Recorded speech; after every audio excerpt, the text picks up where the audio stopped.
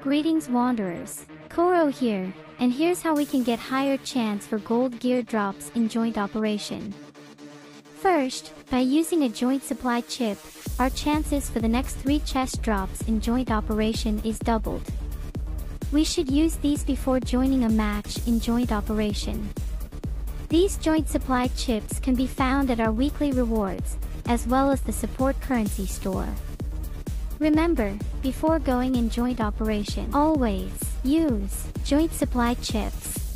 Second, we can get higher chance at higher difficulty, like difficulty 7 and 8, with double gold gear drops per day.